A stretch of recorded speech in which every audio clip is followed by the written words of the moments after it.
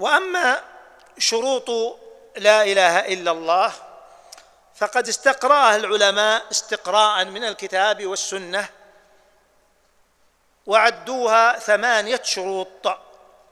جمعها بعض العلماء المتأخرين في بيتين في بيت ثم جاء من زاد عليه بيتا آخر وهو الذي ذكره الشيخ هنا ولذلك يحسن بطالب علم أن يحفظ هذين البيتين علم يقين وإخلاص وصدقك مع محبة وانقياد والقبول لها. هذه كم؟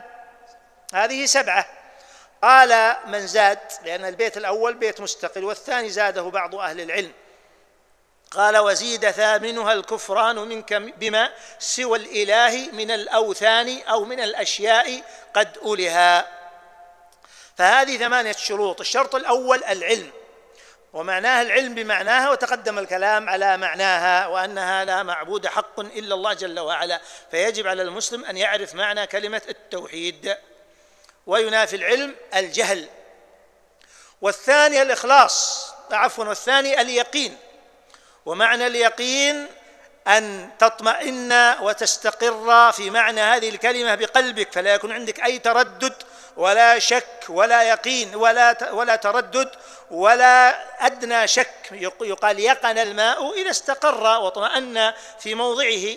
فالمراد أنه ما يكون عندك شك في معنى هذه الكلمة ولا في مقتضى هذه الكلمة. والثالث من شروطها الإخلاص ومعناها أن تخلص عبادتك لله جل وعلا فلا تشرك مع الله شيئا. فمن أشرك فقد نافى إشراكه إخلاصه وقد نقض إشراكه إخلاصه فيكون كافرا بالله جل وعلا لأنه لا يمكن أن يجتمع التوحيد والشرك. فإذا جاء الشرك زاحم التوحيد لأنهما متناقضان تماما فلا يجوز أن يكون أحد كافرا مسلما ولا مشركا موحدا. لأنهما متنافيان أشد التنافي. إذا جاء هذا طرد هذا. و الشرط الرابع من شروط لا إله إلا الله الصدق ومعناه أن تقولها صادقا من قلبك ليس أن تقولها بلسانك وقلبك يكذب بها وبمعناها كما هو حال أهل النفاق. والشرط الخامس المحبة وضد المحبة الكراهية. فلا بد من محبة هذه الكلمة ومحبة مقتضاها.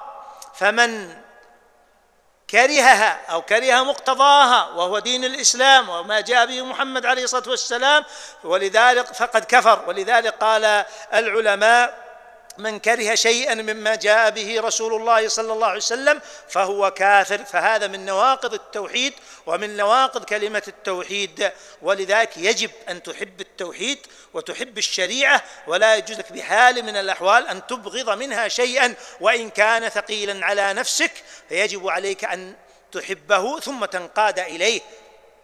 وهو الشرط السادس. الانقياد لهذه الكلمة. وهو معنى الاستسلام. لكلمة التوحيد. قال تعالى ومن يسلم وجهه إلى الله وهو محسن فقد استمسك بالعروة الوثقى. والعروة الوثقى هي كلمة التوحيد.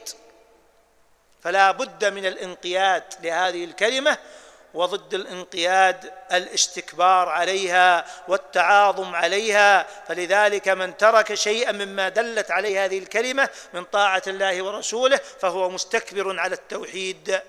السابع القبول لها ومعنى القبول الرضا الذي ينافي الرد فلا بد أن تقبلها وأن ترضى بها وأن ترضى بما دلت عليه. قال تعالى وما كان لمؤمن ولا مؤمنة إذا قضى الله ورسوله أمرا أن يكون لهم الخيرة من أمرهم ومن يعص الله ورسوله فقد ضل ضلالا مبينا. الشرط الثامن الكفر بالطاغوت. المنافي للإيمان بالطواغيت أو ظن أن الطواغيت صحيحة أو أنها يمكن أن تكون صحيحة ولذلك من وحد الله وآمن بالطاغوت فقد كفر بالله جل وعلا لأنه لا يمكن أن يجتمع الإيمان بالله والإيمان بالطاغوت. لا بد من الكفر بالطاغوت اولا ثم الإيمان بالله ثانيا. كما دلت على ذلك أدلة الكتاب والسنة. قال تعالى والذين اجتنبوا الطاغوت أن يعبدوها ثم قال وأنابوا إلى الله ولقد بعثنا في كل أمة رسولا أن اعبدوا الله واجتنبوا الطاغوت. والنصوص في هذا الباب كثيرة. قال عليه الصلاة والسلام من قال لا إله إلا الله وكفر بما يعبد من دون الله حرم حرم ماله ودمه وحسابه على الله تعالى. رواه الإمام مسلم في كتابه الصحيح.